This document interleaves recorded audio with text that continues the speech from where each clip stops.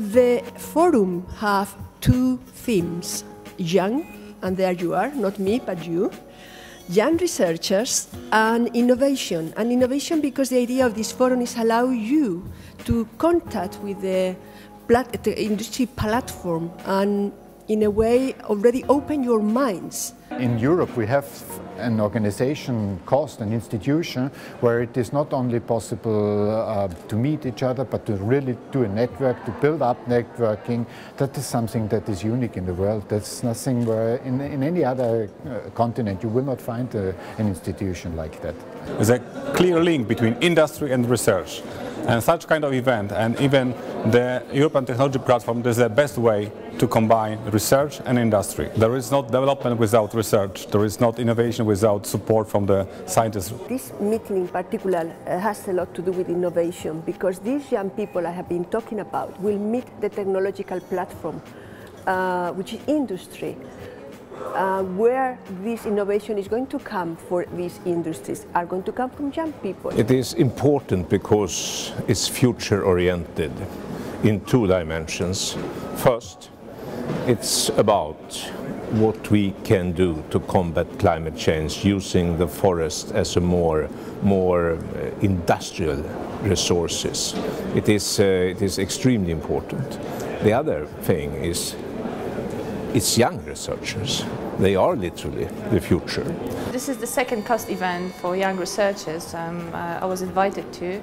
Uh, so uh, I'm very happy to take part in it and uh, again to have a chance to meet other young researchers from other countries, from actually the whole Europe. I think that uh, it's very useful that it connects uh, theory and practice. We had uh, here a lot of interesting uh, practical solutions. For me, the best thing was to to meet new people, to get new information, new ideas. That's it. It's, it's a very good platform to develop context for knowledge sharing, I guess. So it's absolutely useful for us juniors and potentially also for the seniors as well.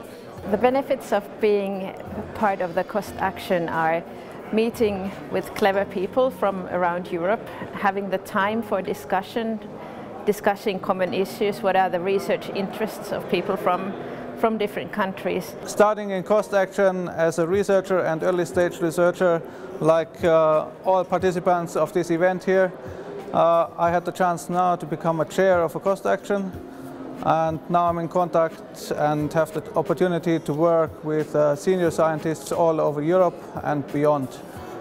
And this gives a great uh, chance for young researchers and uh, early stage researchers for their future development and uh, their career eventually.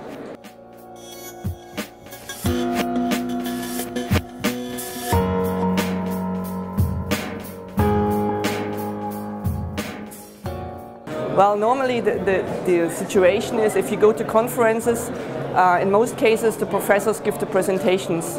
So um, early stage researchers quite often have not a chance to give the presentations themselves. So here it's really a promotion of the young people.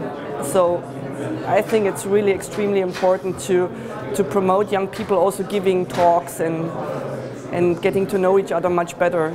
Well, I think that this uh, joint FTP cost uh, initiative is a very good example of uh, how to use uh, one of the cost strategic instruments uh, to invite uh, young people to come up with their new and in innovative ideas and to present them to older, more established researchers and also to the industry. and it's, it's obvious that they, they like it. Come on, we, we actually received 180 proposals. So, uh, and that was uh, much more than we had expected.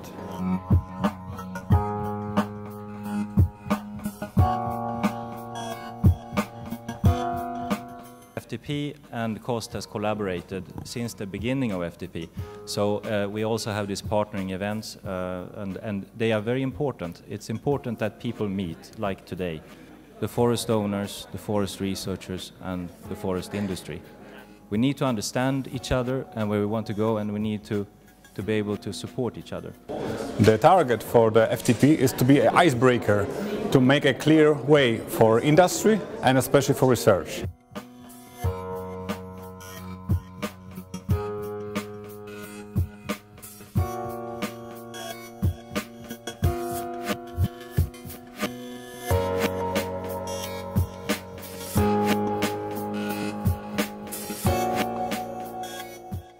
Those young researchers who were invited here for speaking or for presenting their posters are the winners. There are two winners of the presentations. First one is uh, Jenni Rahikainen from Finland. The next one I call on, which is uh, the co-winner, is uh, Gianluca Tondi. And uh, the winner of the poster session goes to... It goes to Sweden. Josefin Illergård. Let me tell you, these are the top winners, you are the other winners. I feel that the effort that I put in my presentation, it, it paid off. These kind of events give you some self-confidence, which is really important, so that you can think that I can do this. I'm very happy about uh, this uh, uh, opportunity that you gave me, of course, to present, but I'm very happy uh, to win because the presentation I made was um, quite interesting. During my PhD, uh, I worked a lot alone, and that feels now.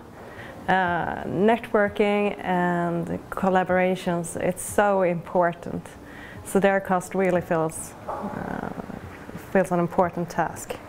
Europe is, in some parts of Europe, literally a forest. We need to take care of that as resources for industry and economic growth and wealth. And we need to cooperate between business, politics and science. We will, we will succeed because this most important to get the objective that you have is to have continuity. And COST is fully committed that during the time we will support young researchers to put them in contact with the right uh, people, either industry or politicians or wherever, and we will achieve uh, this change that Europe needs.